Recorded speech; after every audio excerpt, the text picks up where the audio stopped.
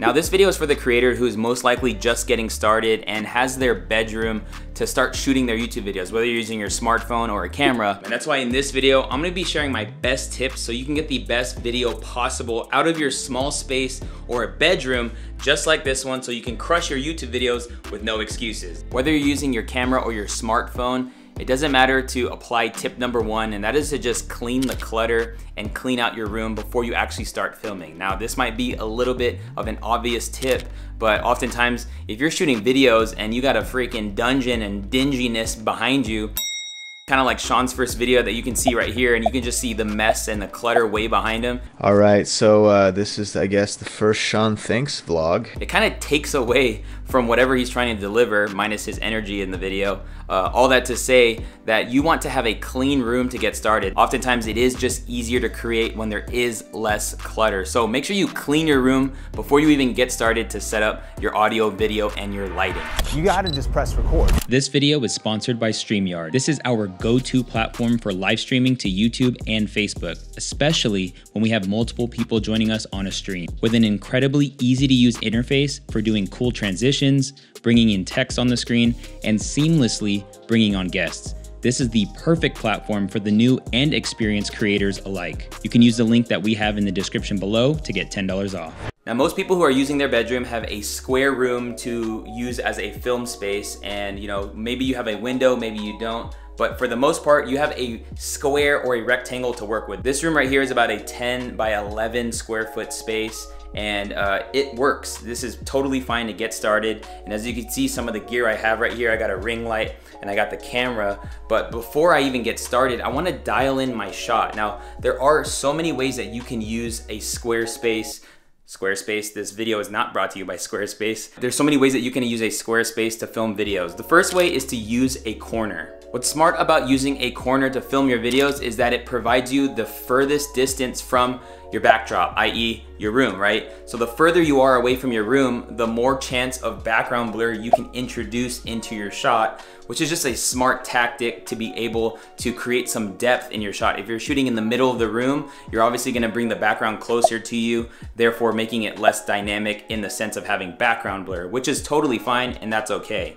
Another smart way to shoot your video is if you do have a window in your bedroom is to use your window as your main key light. As you can see, the lighting on my face looks pretty good, but that's just a window putting light on my face. Another power tip when it comes to using a window light is to don't use it as backlight. You don't want the window to be behind you, uh, and it's gonna be a lot more overexposed if you have light coming from behind you. Even if you have a light on you, it's just not the best look. But if you have to cover the window using blackout curtains or what have you, go ahead and do so and that's totally fine. But just best rule of thumb is to put the lighting in your face or have it light your background as much as possible rather than it backlighting your shot. Now before I talk about gear, the last shot you can actually set up is just a straight on shot with the wall directly behind you. Doing it this way would look best if you actually don't have too much going on. And as you can see, my wife has put some, I guess you can call it tchotchkes on the wall, but it's not much, it's very simple. And like if I, if I had a YouTube channel and I shot like this, that wouldn't be a terrible shot and I can just deliver content like this. The bed is over here, which is gonna take away some of that echo. It's kind of echoey in here, but that's okay. But nonetheless, if you keep it nice, clean, simple, and minimal, you can get away with just shooting a flat shot like this. Now, let's talk about the gear. So I kind of touched on lighting already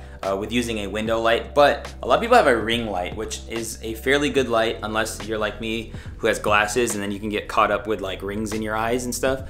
But you can use a ring light uh, to light your face. The thing is with a small bedroom, you might not be able to just shine the light right on your face. If you have a softbox or a soft light, that'll work. But if you're in a tight space and you have a white walls, you can actually blast the light toward the wall and let that light that bounces off show on your face and that'll look very flattering on your face and you won't have such a harsh light on your face which will be a lot pleasing to people watching your videos. Now if you do have a light, whether it's a soft light or you wanna use the ring light to shine right on your face, uh, the best rule of thumb, in my opinion, is to let the light come down at your face from a 40 degree angle or so. So like, here's the light right here, right?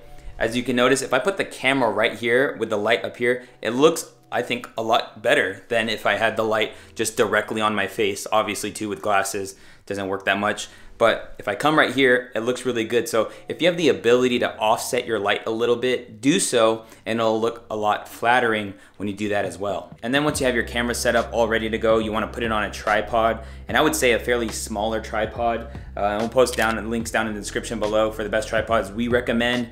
But we also made a video on a all-in-one stand that Nolan did uh, when it comes to shooting YouTube videos, which could be super convenient when shooting YouTube videos in your bedroom. Now, when it comes to audio, you kind of can't have the conversation without bringing up lenses. And so I would suggest number one is if you're using a mic like this, a shotgun mic that's on top of the camera, I would encourage you to go pretty wide with your lens. I know a lot of cameras come with a 16 millimeter kit lens that you can zoom all the way out on and be at 16 millimeters. I would encourage you to do that if you have a shotgun mic. And then the reason you wanna do this is so you can get closer to the mic. I'm actually holding this camera just about arm's length distance from my face and there's a shotgun mic and it sounds pretty good. And so uh, you don't wanna put a shotgun mic on a camera and go super far away. It's gonna be very echoey. Welcome to my YouTube channel and a very distracting audio experience for the viewer. That's why if you wanna keep it simple and minimal, go with a wider lens. I would say 16 millimeters is like the max width, but you can go even more wide with like a 10 to 18 or this M50 has an 11 to 22. All are great focal lengths when it comes to shooting super wide and these kind of setups could be used for vlogging as well. I'm actually shooting in the middle of my room and it just looks a little bit far away because I'm using a wide lens. Now I'm gonna zoom into 18 millimeters on this lens and uh, it makes it look a little bit more tight uh, even though I didn't move, right? But if I zoom it out, I did not move and I didn't realize there was more to zoom out and I haven't been using it that way, but it's all good. Anyway, so like definitely look into getting a super wide lens and we'll post our best recommended gear down in the description below. If anything, just shoot on the widest lens possible to make your room look as big as possible. And if you're shooting with a point and shoot camera that can't zoom out as much as you can, then do the best you can. Like I said, go to the corner and film from there and you can get the most distance behind you by doing it that way. All right, so if you're getting value in this video, let me know by hitting that like button for me. And also I would love to check out what you're shooting in your bedrooms, which could sound really sketch if you don't have any context, but put it down below in the comments and would love to see. But the next tip is kind of just more of like a concept, and that is to just maybe prioritize shooting videos than it is the aesthetic of your room. If this thing is really supposed to take off and you want you really want to try to build some part-time or full-time income using YouTube, then I would sacrifice potentially the aesthetic of your room to maximize for the use of it. All that to say, if you're getting serious about YouTube, then I would consider reorganizing your furniture just to get the most out of it. And if you are serious about growing your YouTube channel and making some money, I wanna encourage you to take our free one hour YouTube class. That could be found at thinkmasterclass.com and you'll learn about the latest strategies on how to grow and scale on YouTube with a small audience, creating a part-time or even full-time income. We have a ton of students who have went through this class and now have considered themselves full-time creators. But if you're looking to take YouTube serious, go to thinkmasterclass.com and take that free one hour class. I promise you'll get something from it and it's gonna be awesome to see you crush it on YouTube this year.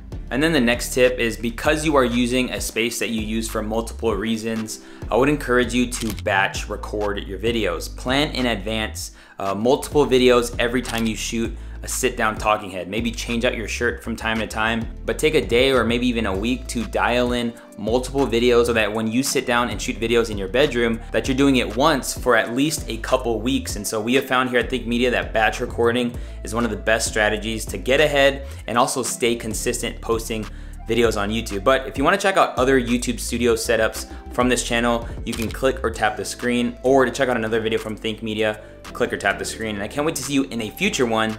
Peace.